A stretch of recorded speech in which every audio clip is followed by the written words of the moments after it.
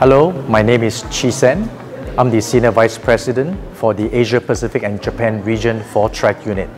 So my role is to work with stakeholders in the equipment uh, industry.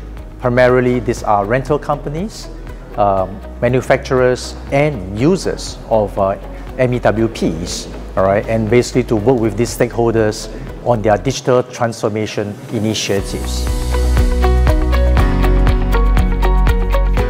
So construction equipments are traditionally very much mechanical, but of course that has changed now. Today, the equipments that we are seeing around us, they are very, very smart. They're producing a lot of data.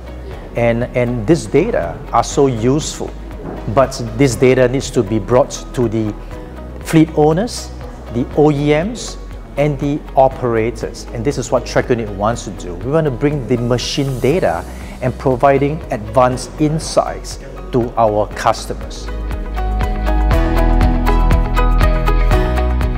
So AI is a very, very commonly discussed topic. So track, at TrackUnit, we are implementing AI and analytics into this construction business. So let me share with you a few real cases.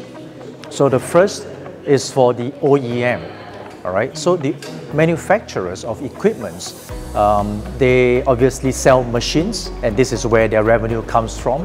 But very importantly, manufacturers are often looking at you know, ways to increase their revenue by selling more spare parts.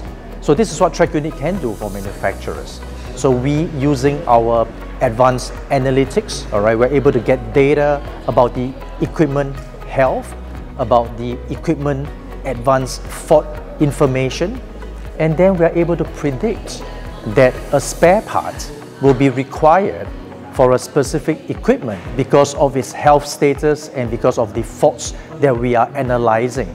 And this becomes a, a, an opportunity for equipment manufacturers to propose and to recommend and to sell more spare parts to their customers. So that's a real case for an OEM.